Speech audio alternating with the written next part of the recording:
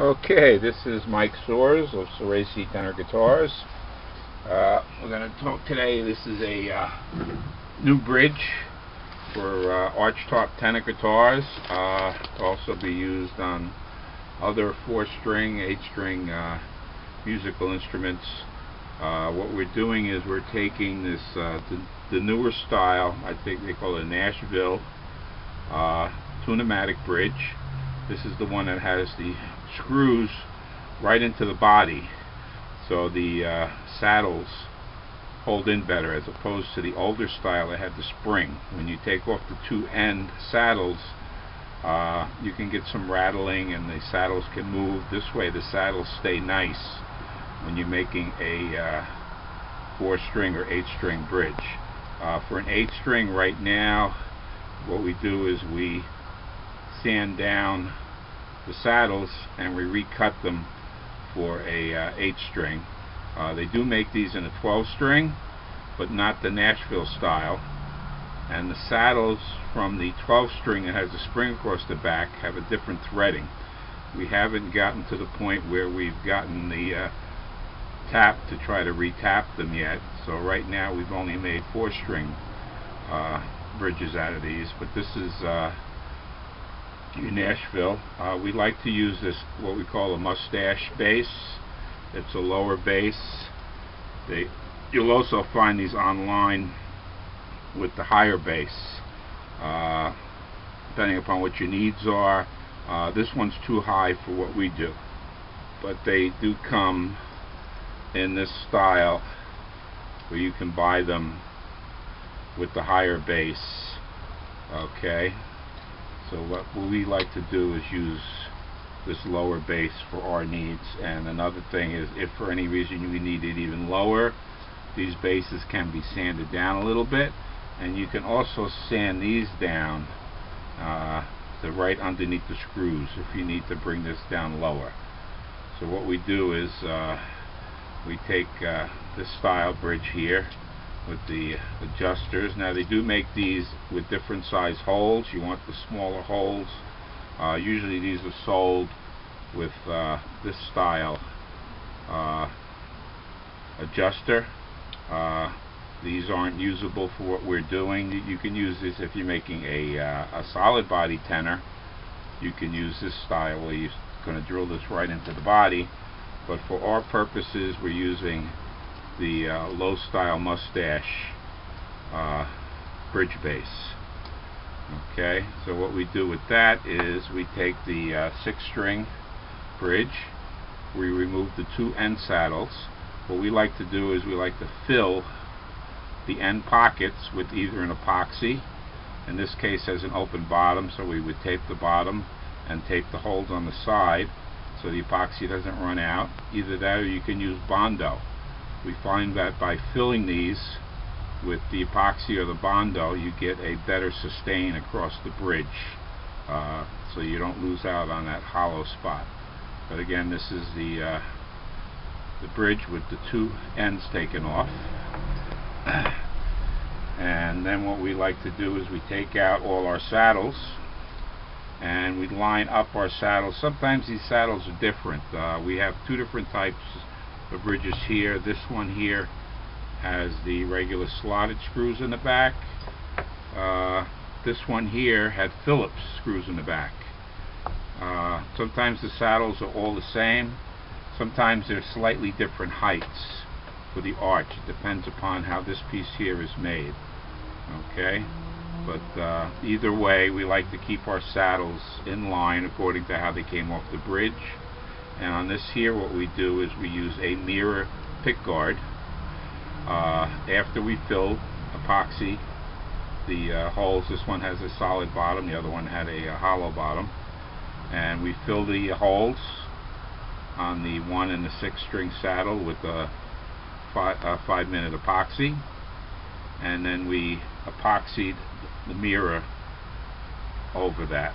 Uh, this is uh, eighth inch or you can get these a 16 inch mirror and we cut the little pieces down and uh, make our end pins now the, the covers covers, they can either be, this one we did by hand.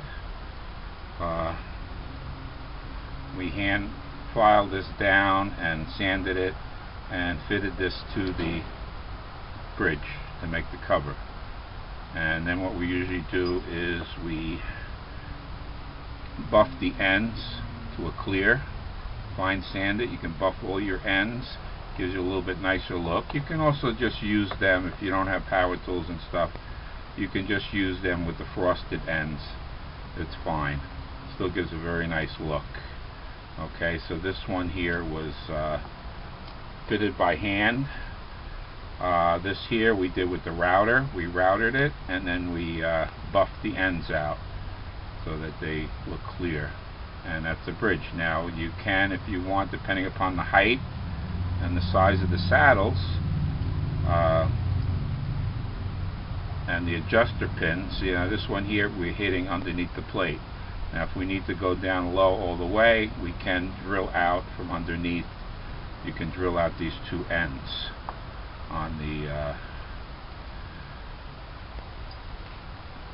bridge on this here we're going to router it and what we do here is we take a piece of formica and we put the Formica onto the router so it gives us a better table to work on.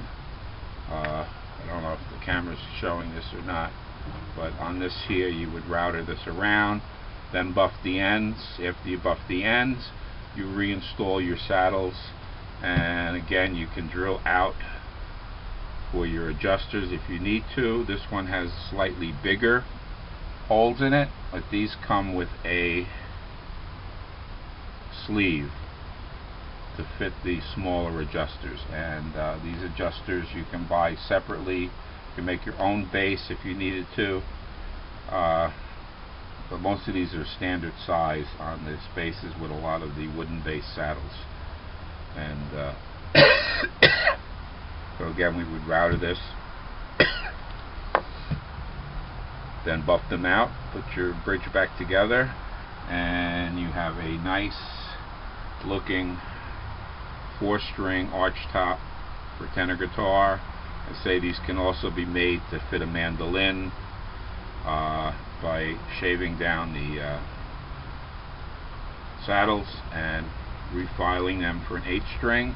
Uh, we haven't had the need to make a 8 string yet. Uh, we do have some extra uh, 12 string saddles that, that we can remove from another style, the older style bridge.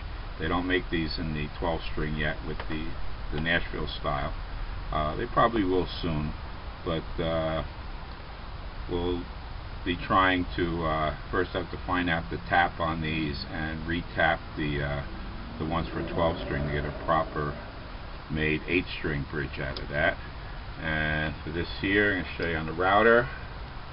Uh, again, I don't know if the camera is going to catch this. Let me just move these out of the way.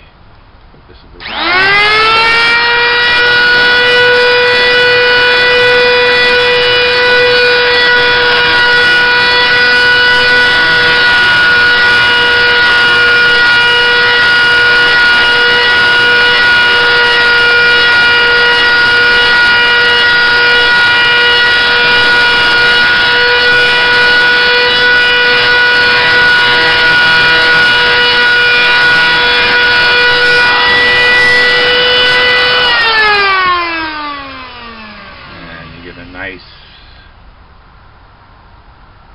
clean edge with that. Again now this would be then buffed out or you can leave it like that if you want. You could put some blue tape around the chrome to protect the chrome. On this one here it, it ate up the uh, the chrome a little bit. It shouldn't have but it did. But uh, that's how we do it with the router. But again this can be done by hand and then you would just epoxy these over the holes okay this is Mike Soares Soaresy tenor guitars. Hope this helps. This makes a very nice adjustable. You got your uh, adjustable pin so you can use this for all types of tunings on your arch top tenor guitars. Uh, this can be used some for some flat tops. You can make this flat for the old arch tops that the old flat top guitars that have the floating bridge. This can be used as well. and again like I say they can also be used in a solid body by using these pins that drill into the top. Okay, this is Mike Soares, Racy Tenor Guitars. Thank you.